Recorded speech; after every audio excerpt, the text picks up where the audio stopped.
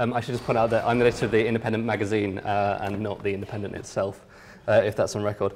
Um, I've got my little clicker here. I'll just start by showing you, um, this is this Saturday's edition of the magazine uh, and the Saturday that's just gone out. Um, I thought it'd be quite interesting to show you this just as a kind of a, a little lesson about kind of the weekly process of putting a magazine together. Um, we, obviously everyone has been watching Skeleton at Sochi for the last few weeks and we were kind of lucky enough to be offered in, I think it was about September, which is quite a long time for us. Uh, really good access with um, one of um, Team GB's skeleton riders, so we thought that'd be great. At the time, she was number one in the world and was nailed on for the gold medal. We were kind of assured by her representatives. Um, if anyone is a particularly keen skeleton fan, I'll say that, isn't actually Lizzy Yarnold uh, who won the gold medal. It was Shelley Rudman, who since we agreed to interview her has uh, kind of plummeted slightly down the rankings and came 16th uh, in Sochi. So we rather cunningly didn't make that too clear on the cover. Um, I, just, I started on the um, magazine about eight months ago. I'd been on the daily features desk at The Independent before that. And um, I'd worked on the magazine, I'd worked on the guide at The Guardian uh, for a couple of years before that. So I kind of done weekly and I'd done daily, which is absolutely mental and breaks your brain and kind of was quite glad to get back to a weekly, which feels slightly luxurious, but um, I could kind of do with a lot more time, I think, because doing a weekly magazine, I mean, it's 60 pages every week, so it kind of comes around and we have quite a small team, so it can kind of blow your mind and you get to the end of Friday and kind of never want to look at it again and then you have to go and buy the paper the next day. And it's there. I'll show you, the, these are the first two we did. Um, when I started, we've, we've had a redesign which was part of the Independent's whole redesign under Matt Willey. Um, just to kind of show you how it's, how it's changed, I actually quite like these two. Um, although the, the second one, I had a sort of long running battle with our fashion editor who convinced me and assured me that um, to celebrate the royal christening, because the Independent famously doesn't really cover the royals, the best thing to do would be to uh, hire the, the country's uh, number one Kate Middleton lookalike uh, and borrow some babies and put them in very, very expensive sort of haute couture dresses and uh, see if anyone noticed. But um, I think we, we kind of got away with it. Um, when the guys asked me to talk tonight, they, I kind of said, you know, what, what do you want me to talk about? And they were, seemed quite interested in, you know, how you kind of go about putting a, magazine together on a weekly basis and, and what the process for that is. And I, I kind of had to stop for a second and think, well, I've not actually really considered, because it comes around so quickly, I, I, I've not really thought too much about what that actual process is. So I, um, one of my favourite magazines is um, Bloomberg Business Week, which is you know sort of something that a lot of people who work in magazines say.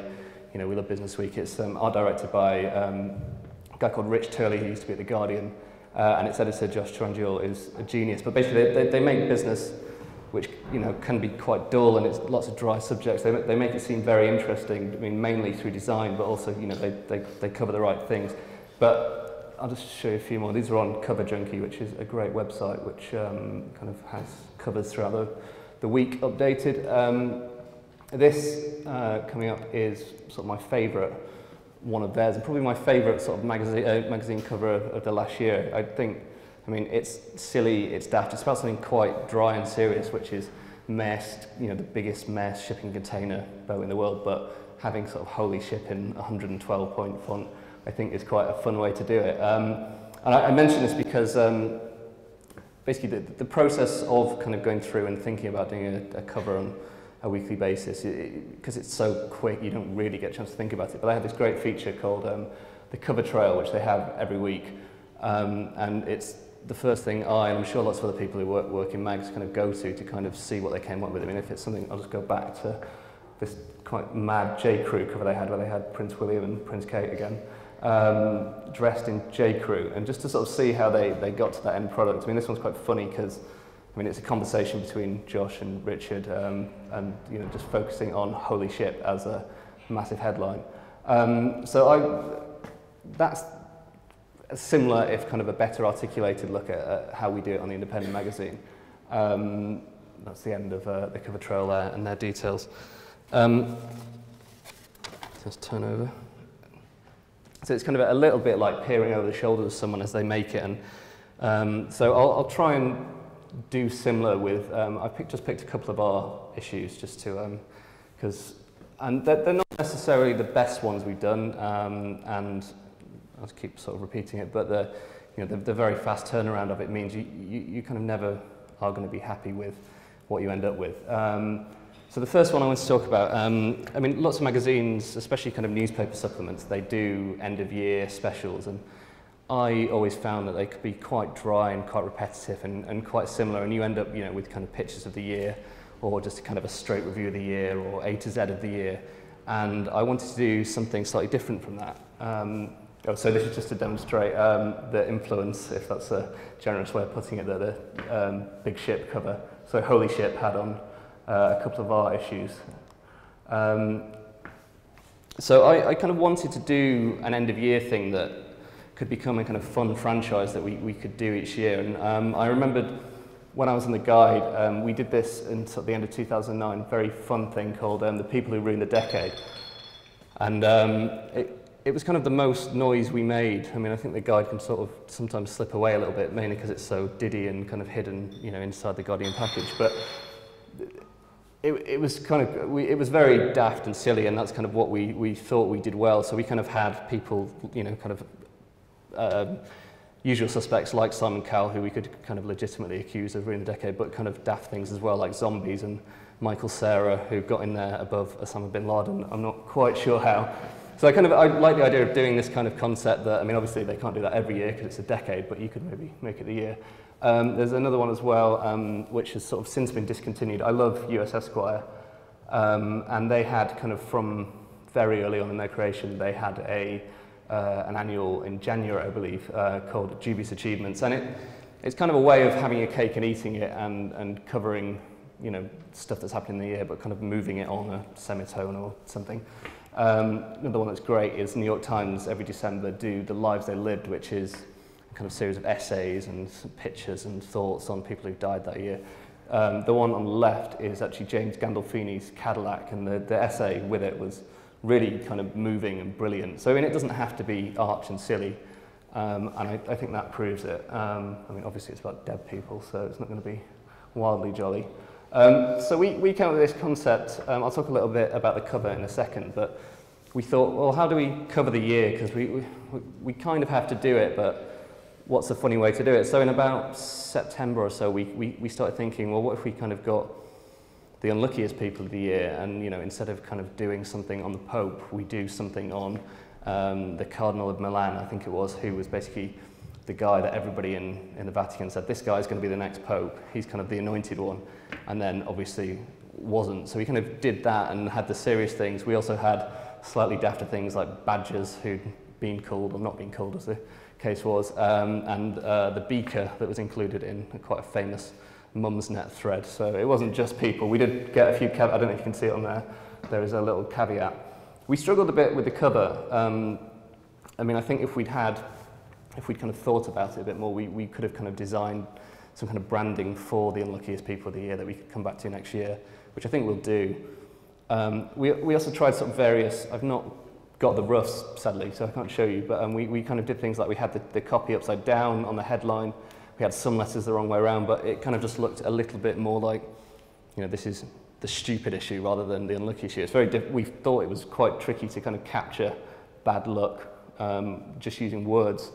My original idea actually was just to have Sideshow Bob from that episode of The Simpsons standing on a rake, um, but we couldn't get the rights to that, and there aren't many kind of wire images of someone standing on a rake hitting themselves in the, in the face. So we, we tried to do it typographically, and I mean, when I went back and looked at it this week, I kind of wondered why the G and the E aren't falling off if the U and the N are.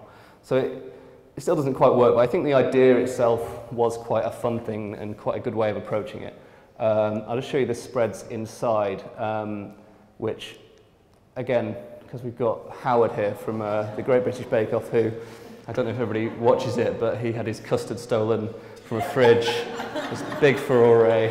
Um, sadly, he looks a little bit like a slightly chubbier Michael Gove, um, which isn't sort of great pictorially. So I think when we do this next year, and we've kind of got the whole year to kind of get good, unlucky people, we'll, we'll, we'll try and kind of improve the presentation. But I didn't want to sort of just show you stuff that I was really happy with, which isn't much really. Um, we got um, John Terry, who got in his kit for the second time, having missed his second final in the year. Uh, Chris Froome, who nobody cared won the Tour de France. Um, and this chap, I don't know if you remember, he um, was accused of sending ricin to Barack Obama. He was an Elvis impersonator, but was framed by another Elvis impersonator. So it was kind of it was a good way of getting quirky stories that, that might have been forgotten. You know, things obviously like the Pope that, that wouldn't be forgotten, but just kind of showing our kind of mentality of how we look at things. Um, so it, it kind of worked, but I think there's a bit more than that. Um, I think we probably will do it better next year. And there's Dennis Farina, who died on the... Uh, there's Kate Middleton again. I didn't realise was three in there. Uh, he died on the day the royal baby was born, so unlucky him. Um, I'll speak to you about a second issue before I finish. Um, we, we kind of have a set roster roster of um, issues we have to do each year. Kind of we do a few travel issues, a few fashion issues, a few food issues. Um, and they're, they're quite good fun and they, they, they kind of allow you to focus in a way. And I kind of I wanted to do a travel issue. We, we basically the independent um, is among its faults is very good for travel and has a weekly travel um, magazine called The Traveller, which has won lots of awards. And we have Simon Calder, who's kind of the biggest name in, in travel. And that they cover kind of wonderful holidays every week. So I, I didn't really want to do that. And I didn't want to basically just send a load of journalists from D&D on kind of paid holidays that people might not necessarily be able to afford. So we, um, we kind of narrowed it down and we, we decided that just doing it on trains might be a good idea, even though trains can be a bit nerdy. They're also kind of have been the focus of some of the best travel writing that's ever been done. Um, so we, I'll just talk you through the cover, how, what we ended up with. Um, my initial thought, as you may have guessed here, if you know Noma Bar, was to um, maybe try and get him to do something that combined trains and kind of holidays, which aren't two completely disparate ideas. Um, there's a couple that Noam has done in the last few years, one when I was at the Guide. Um, I was actually inspired by my deputy. He was reading um, the, what can't remember what it's called, the one, the second uh, on the top. Um, and I thought I should include that because I hadn't realised until I was researching this that um, it was commissioned by It's Nice That. So uh, there they are. Um, so my art director, uh, Kevin Bayliss, he had an idea of kind of trying to create a train from a load of old maps, and uh, he mentioned a chap called Martin O'Neill, um, who'd done a few things for us before. One of them was this uh, A to Z of 2013, um, which we won't be doing next year because I don't like that kind of thing. Um, and basically we said to him, can you make a train out of old maps, thinking, well, that's could be a bit of a fool's errand, but let's see what he comes up with. And so we, we gave him a, a week or two, which again isn't a tremendous amount of time. And the next day he kind of tweeted this, which filled us with confidence, where he'd basically been to a, uh, a second-hand bookshop and got all these beautiful old um, maps. And we kind of thought, well, that's interesting. They're going to come to a, a, a bloody end, and uh, you'll see sort of not long after he'd kind of torn them to shreds.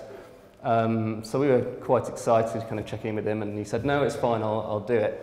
Um, and, you know, it'll work, and we weren't, sorry, I'm drifting over here. Um, so we, after a couple of days, he came back and he gave us this, um, which I was really happy with, and I think it's really sort of quite unusual and beautiful and striking for a Saturday supplement cover. Um, I would say that, perhaps. But I think often illustration isn't used enough in them, and you kind of they, they can be a bit too kind of glossy and aspirational. Um, and we should perhaps do that as well. But um, I thought it was, the image ended up looking really nice, and I was kind of the best thing I think I've done since I've been on the mag. Um, so then we kind of thought, okay, well, this didn't actually happen in this chronological order, but um, we started thinking about, well, if we're doing trains, what do we put in there? And um, I'd sort of been reading the Great Railway Bazaar by uh, Paul Theroux, and um, which is sort of kind of known as the, the, the greatest bit of travel writing about trains ever done, possibly even the, you know, the kind of greatest book about travel, period. Um, so I thought, well, I'll, I'll aim high with our low budgets and uh, see where we get. So I emailed Paul's agent and said, you know, we're doing this thing about trains. It'd be great if he could do something. And his agent emailed back and said, well, you know, he's on a beach in Hawaii, so probably not going to do it. So we thought, okay, well, that's um, troublesome, but we'll, we'll see what we can do. And then we had an idea which I, I kind of, part of the reason I wanted to talk about this issue is because it was quite unusual. And um, I, I'm still not sure if it was the right decision or not, so maybe you know someone could tell me later. Um, we kind of wondered if it would be worth speaking, going back to Wylie, his agents, and saying, well, what if we kind of extracted some of the Great Railway Bazaar, which came out in 1972, I think, and obviously book extracts are very common, but to go back and get something from a very old book, which a lot of our readers could well have read, is possibly madness, possibly a good idea. Um, but they were, they were quite up for it, and I, I, I kind of justified it on the basis of, well, if you've read it, there's no real reason you'd be reading it recently, and if you are, there's probably only about two independent readers who are. Uh, if you've read it before, it's a great chapter. It's basically Paul travelling from uh, London Victoria to um, Paris Gare du Nord um, back in the day when there's no Eurostar. And it's, it's a great chapter where you know, he kind of gets annoyed by various other tourists. Um, and so we, we, we thought, well, let's go for it. And no one stopped us, so we, we kind of thought it'd be good. So um, let's get that one. Um, so we kind of ended up with this, this package that opened with a big piece by Paul Theroux. And he also did a, a little interview for us as well, kind of putting it uh, into context and kind of you know, talking about trains in general. Uh, and that led to us. So we, we kind of had that I mean, this picture's beautiful, isn't it? It's, I thought it was from about 1962, but it's from 1996, I think. Um, we kind of use that as a jumping off point to get people to talk about journeys that weren't necessarily completely joyful, because um, Paul's definitely wasn't. He kind of has a crap meal in the buffet car and ends up in Paris, freezing cold and sort of ready to go on this epic journey. Um, so we asked kind of some of our writers in-house, like John Walsh, um, and others, to to talk about their train experiences. And some of them were, some of them were jolly. A lot of them were kind of tales of being, you know, on the second bunk of a train going across India and getting puked on by, you know, a backpacker. Um, and I kind of thought that really is what I wanted to, I mean, it's not great for selling advertising to holiday companies, if I can tell you, but um, it's having stories in there that aren't, so here's Paul, I love this picture of him. Um, having pictures of, um, sorry, stories about travelling where it's not very glamorous and there is that kind of hint of romance of travelling on the train, I thought was quite a fun way to do it. Um, and we, we also had a, a really nice story by Monisha Rajesh, who travelled India and travelled every train across India and kind of wrote about the food, which you know was a bit more of a kind of a foodie piece more than a travel piece. Um, and Evan Gordon got the kind of crap Trans-Siberian. Um, there's two, there's a nicer one that goes down south and another one. Um, and we, we actually even got our fashion editor to um, go back and look at a sort of famous uh, Louis Vuitton show in, pa in Paris where I think it was John Galliano kind of took over an entire train station and in fact drove a train in and kind of had you know, ev everyone there dressed head to toe in Louis Vuitton uh, with their famous baggage. Um, so that's kind of, that's two, I mean, they, they're quite unusual for us issues in that one was kind of uh, end of yeary, which obviously doesn't come around very often, and one is on a, a fairly strict theme. But I think we were able to kind of work within those constraints reasonably creatively.